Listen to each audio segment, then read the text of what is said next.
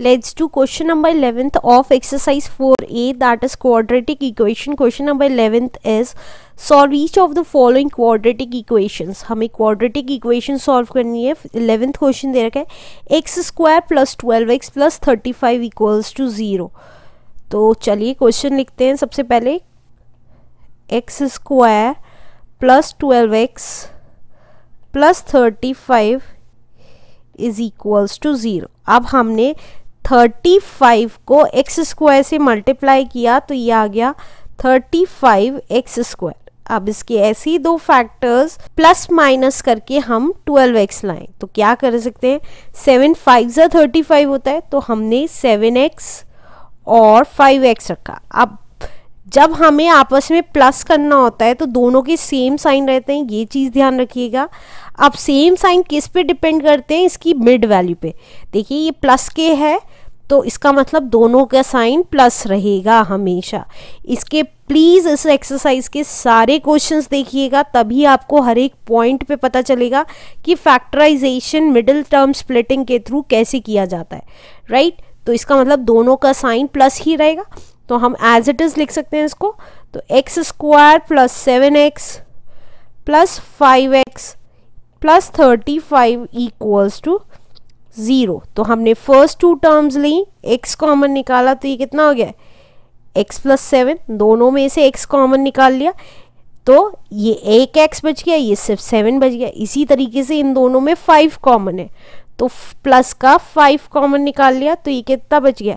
X plus seven equals to zero तो x plus seven दोनों में कॉमन निकाला तो क्या बच गया? x plus five equals to zero अब हम x की वैल्यूज़ निकाल लेंगे।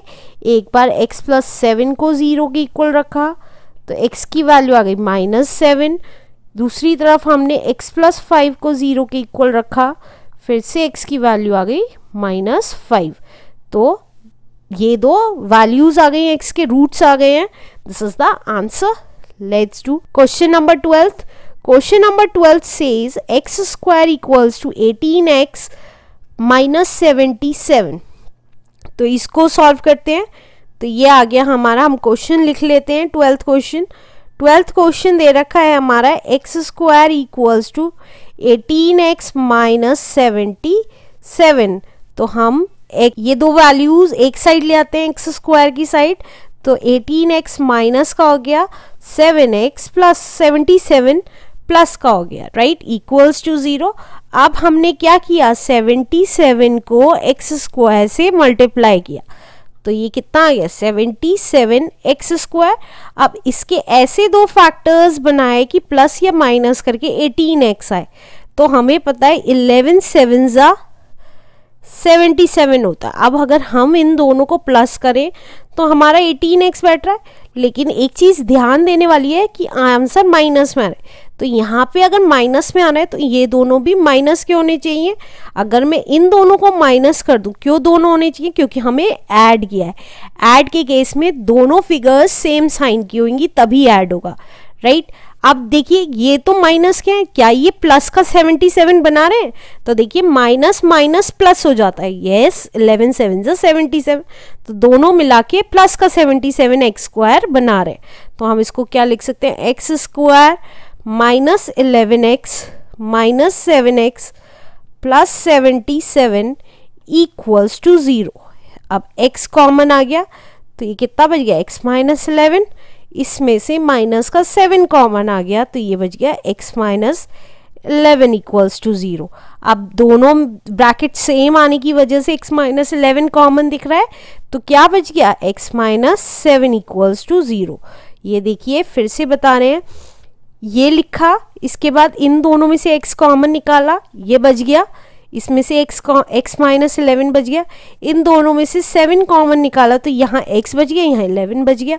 और जब माइनस कॉमन लेते हैं तो अंदर के साइन चेंज हो जाते हैं। एक्स की वैल्यू माइनस की थी तो प्लस का हो गया। प्लस की वैल्यू माइनस की हो गई। अब इन दोनों में से एक्स माइनस इलेवन थे। दोनों में से कॉमन ले लिया एक्स माइनस इलेवन तो यहाँ एक्स बच गया। और यहाँ सिर्फ़ माइनस सेवन बच गया तो वो एक ब्रैकेट में लिख दिया।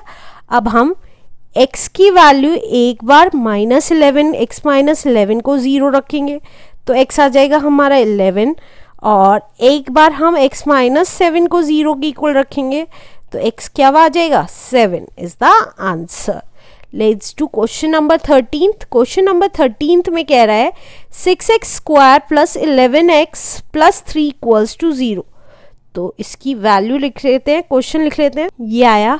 क्वेश्चन नंबर थर्टीन है हमारा। Six x square plus eleven x plus three equals to zero तो अब हम क्या करेंगे?